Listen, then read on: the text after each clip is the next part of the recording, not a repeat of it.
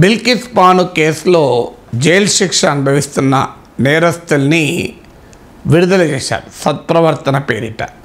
వాళ్ళు విడుదల చేయడమే కాకుండా వారు జైలు నుంచి వస్తున్నప్పుడు బయటికి వచ్చినప్పుడు అనేక సంస్థలు అధికార పార్టీకి సన్నిహితంగా ఉండే సంస్థలు వాళ్ళకి పూలదండలు వేశారు సెలబ్రేషన్ జరిపారు. స్వీట్లు పంచుకున్నారు. కొంతమంది బీ ఒక బీజేపీ నాయకుడైతే ఏకంగా వాళ్ళను సంస్కారీ బ్రాహ్మలు అని కూడా పేర్కొన్నారు.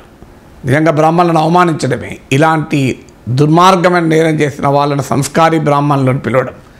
ఇదంతా జరిగిన తర్వాత దేశమంతా గగ్గోలైంది. దేశవ్యాప్తంగా మీడియా సంపాదకీయాలు రాసి ఇంత అన్యాయమా? ఎందుకంటే ఇది సామూహిక హత్యాకాండ సామూహిక అత్యాచారం. ఆఖరికి బిల్కిస్ బాను చిన్న బిడ్డను కూడా చంపేశారు. సో ఇంత దారుణంగా జరిగిన ఘటనకు కారకులైన వారిని సత్ప్రవర్తన పేరిట వాళ్ళని బయటపడేయడం ఏంటి? విడుదల చేయడం ఏంటి? సో అందులో వా ఒక వా- ఒక దోషి ఒక నేరస్తుడుగా ఉండి వాళ్ళ విడుదలైన వ్యక్తి కుటుంబ సభ్యులకు టికెట్ కూడా ఇచ్చారు. గుజరాత్లో బీజేపీ ఎమ్మెల్యేగా.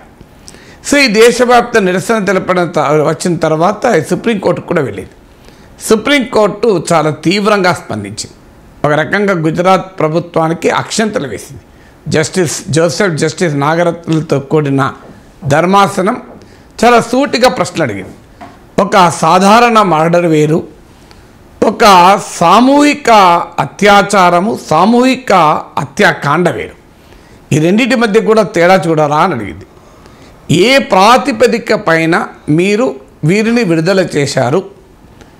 న్యాయస్థానమేమో వారిని జీవితమంతా జైల్లో ఉండాలని ఆదేశిస్తే ప్రభుత్వమో వారిని విడుదల చేసింది.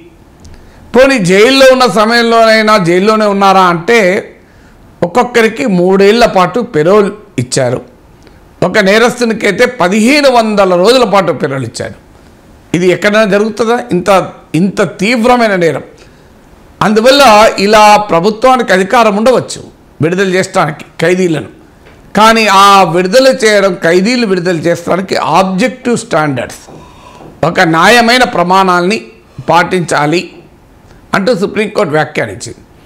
ఎందుకంటే ఇవాళ బిల్కిస్ బానుకు కావచ్చు రేపు మీరు కావచ్చు నేను కావచ్చు. ఏదైనా ఒక ఆబ్జెక్టివ్ స్టాండర్డ్స్ లేకుండా మీరు ఎలా విడుదల చేస్తారు? So what are the material మీ దగ్గర ఏ మెటీరియల్ ఆధారంగా ఈ నిర్ణయానికి వచ్చారు? డాక్యుమెంట్లు మాకు చూపండి అని అడిగారు. విచిత్రం ఏంటంటే డాక్యుమెంట్లు చూపమని కో- కోర్టు ముందు ప్రభుత్వం వాదిస్తుంది. సో ఇలా ఇంతకన్నా చాలా సీరియస్ అంశాల్లోనే కోర్టుకు డాక్యుమెంట్లు చూపెట్టారే. ఇలాంటి కేసులు ఎందుకు విడుదల చేశారు? విడుదల చేయడానికి ప్రమాణాలు ఏంటి? మీరు పాటించిన ప్రామాణిక సూత్రాలు ఏంటి? ఈ డాక్యుమెంట్లో మాకు చూపెట్టండి అంటే అభ్యంతరం ఏంటి అని కోర్టు ఆదించింది ఇది కంటెంప్ట్ ఆఫ్ కోర్ట్ కిందికి వస్తుంది. నెక్స్ట్ విచారణ మే సెకండ్కి ఇస్తున్నాం.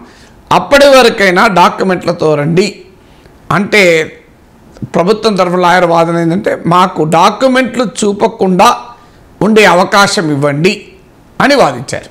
ఇదేం జాతీయ భద్రతనా లేకుంటే ఇంకేదన్నా? సుప్రీంకోర్టు ధర్మాసనం ఇంకో మాట కూడా చెప్పింది. ఎవరినైనా ఖైదీలను విడుదల చేసేటప్పుడు ప్రజా ప్రయోజనం ఏంటి అని చూడాలి జరిగిన నేరం యొక్క స్వభావం చూడాలి ఇవేవి చూడకుండా మీరు విడుదల చేస్తే ఎలా? Nature of crime public interest ఏంటి అందులో? ఇవేవి చూడ చూడాల్సిన అవసరం లేదా అని సుప్రీంకోర్టు అడిగింది. ఎందుకంటే ఇది మామూలు హత్య కాదు సామూహిక హత్య సామూహిక అత్యాచారం. హరెండస్ క్రైమ్ ఇది. ఇంత దుర్మార్గమైన ఇంత భయంకరమైన నేరం ఇది. మీరు ఏ రకంగా చేస్తున్నారని కోర్టు చాలా తీవ్రంగా స్పందించింది. అయితే ఇది తీర్పు కాదు ఇప్పటికీ ఇది ఓరల్ అబ్జర్వేషన్సే మౌఖికమైన భావాల వ్యక్తీకరణ కోర్టు యొక్క మైండ్ అర్థమవుతుంది. పూర్తి విచారణ తర్వాత జడ్జిమెంట్ వస్తుంది. సో చాలా సీరియస్గా సుప్రీంకోర్టు అన్నది ఏంటంటే గుజరాత్ రాష్ట్ర ప్రభుత్వం ఏ ప్రాతిపదికన విడుదల చేసిందో మాకు తెలపాలి.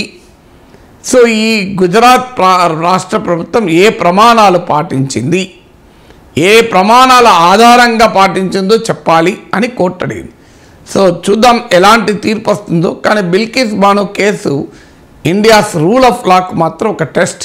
న్యాయ వ్యవస్థ ఈ పరీక్షకు నిలబడి సరైనటువంటి తీర్పు చెప్తే న్యాయ వ్యవస్థ గౌరవం కూడా మనకు గణనీయంగా పెరుగుతుంది.